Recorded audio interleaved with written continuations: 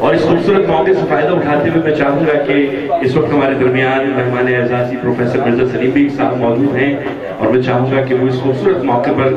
خوبصورت سی گفتگو کریں۔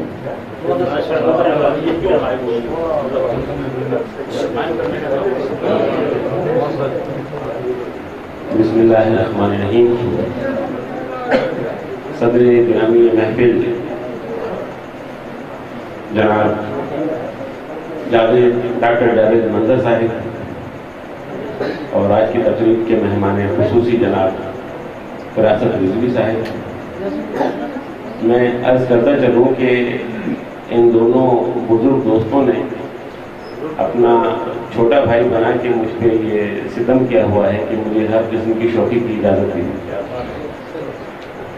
اور میں بھی اس کا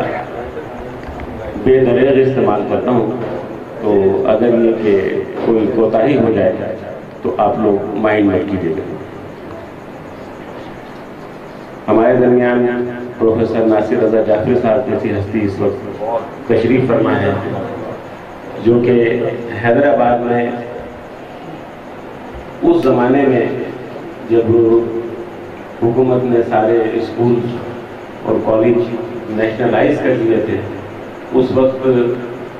حیدرآباد کے تعلیمی افق پر دو بڑی شخصیات نمودار ہوئیں۔ جن میں اگر میں غلط نہیں کہہ رہا ہوں تو پروفیسر ارشد رضا رضوی صاحب تھے اور وہ فارسی کے بہت بڑے عالم بھی تھے۔ اور میں نے ایک بار راجا صاحب میں نے ملاقات بھی کر رہی اگر آپ کو یاد ہو۔ زبان کی طرف فارسی بولتے جی جی۔ اور دوسری ہستی ناصر رضا جعفری صاحب تھے جو اس وقت ہمارے درمیان اپنی ناسازی قبا کے باوجود موجود ہیں۔ یہ محض ان کی محبت ہے کہ ان کو صرف یہ معلوم ہوا کہ ایک مجلس مسالمہ بپا ہو رہی ہے تو یہ رہ نہیں پائے اور چلے جائے یہ بڑی شخصیات کا بڑا پن ہے۔ کبھی صاحب بھی اسی طرح کیا کرتے تھے اور ہمارے دیگر بزرگ جو جن لوگوں کو ہم نے دیکھا، وہ سب ایسے ہی حضرات گرامی، ابھی آپ نے دیکھا کہ آج کی تقریب کے مہمان خاص جناب، فراست رضوی صاحب نے لوگوں کی نقاب کشائی کی ہے۔ یہ بالکل نو زائدہ تنظیم ہے اور میں بطور خاص اپنے آپ کو ایک انتہائی خوش نصیب آدمی سمجھ رہا ہوں کہ اس تاریخی لمحے میں اس تنظیم کے بانیان کے ساتھ اور مہمان خصوصی جب نقاب کشائی کر رہے تھے اور صدر گرامی محفل وہاں موجود تھے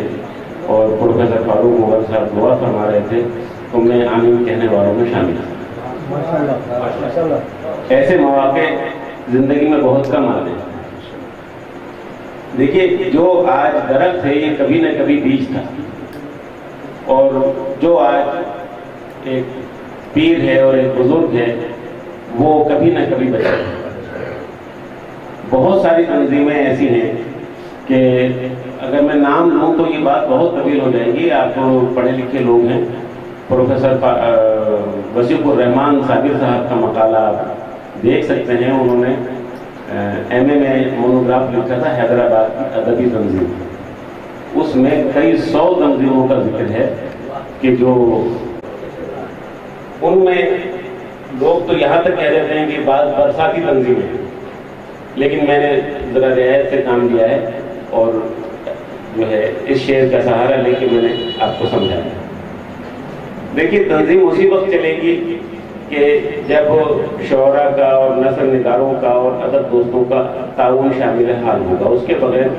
کوئی تنظیم نہیں چلے یہ میرے لیے اس لیے زیادہ امید ہونے کی ایک اس میں نوید پوشیدہ ہے کہ پہلی دفعہ ایسا ہوا ہے کہ نوجوان، نسبتاً جن کو ہم نوجوان کہہ سکتے ہیں، وہ لوگ اس تنظیم کا بیڑا اٹھائے ہوئے اور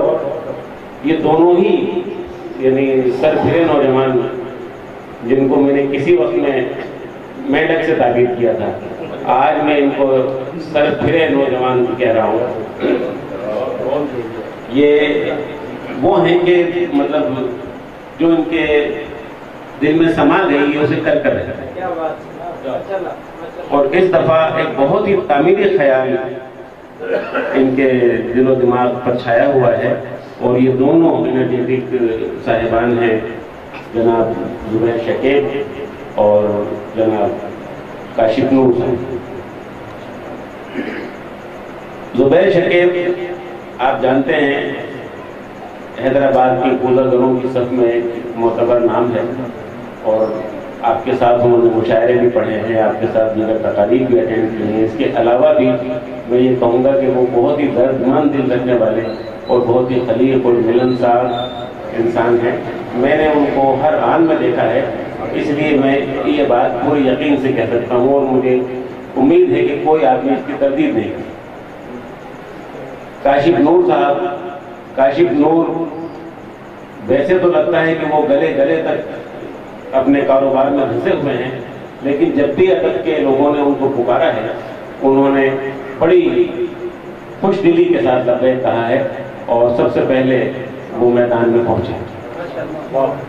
یہ تو میں نے ان کی ذات کے حوالے سے بات کی، لیکن اس کے علاوہ بھی ہم دیکھتے رہے ہیں کہ تقریب بپا کرنے کا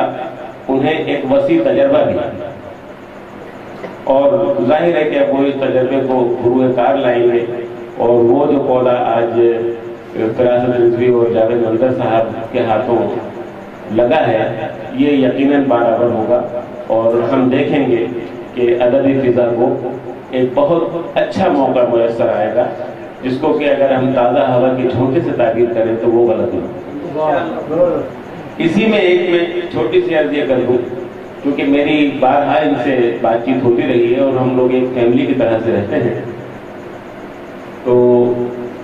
ان کے خیالات انتہائی صاف ستھرے ہیں۔ ان کا کہنا ہے کہ ہماری تنظیم کا پلیٹ فارم ہر شاعر اور ادیب، اگر وہ شاعر اور ادیب ہے تو اس کے لیے حاضر ہے۔ یعنی کسی قسم کی